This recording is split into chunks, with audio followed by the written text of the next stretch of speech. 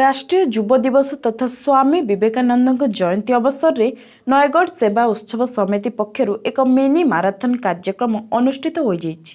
ନୟାଗଡ଼ ସେବା ଉତ୍ସବ ସମିତି ଅଧ୍ୟକ୍ଷ ଶିବରାମ ମହାପାତ୍ରଙ୍କ ଅଧ୍ୟକ୍ଷତାରେ ଅନୁଷ୍ଠିତ ଏହି କାର୍ଯ୍ୟକ୍ରମରେ କୃଷି ଓ ଉଚ୍ଚଶିକ୍ଷା ମନ୍ତ୍ରୀ ଡକ୍ଟର ଅରୁଣ କୁମାର ସାହୁ ମୁଖ୍ୟ ଅତିଥି ଭାବେ ଯୋଗଦେଇ ମାରାଥନ୍ର ଶୁଭ ଉଦ୍ଘାଟନ କରିଛନ୍ତି। ଖଣ୍ଡପଡ଼ାର ପୂର୍ବତନ ବିଧାୟକ ସିଦ୍ଧା ଶେଖର ସିଂ ସମାଜସେବୀ ସନ୍ତୋଷ ପ୍ରଧାନ ସମାଜସେବୀ ପ୍ରମୋଦ ପଟ୍ଟନାୟକ ପ୍ରମୁଖ ଅତିଥି ଭାବେ ଯୋଗ ଦେଇଥିଲେ।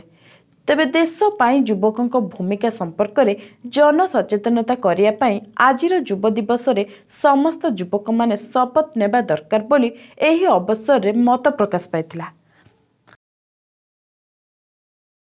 ଆଜି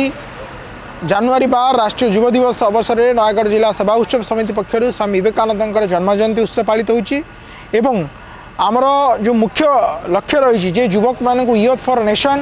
youth against climate change এই কনসেপ্টে আজ মিনি মারাথন কার্যক্রম হয়েছিল জেলার বিভিন্ন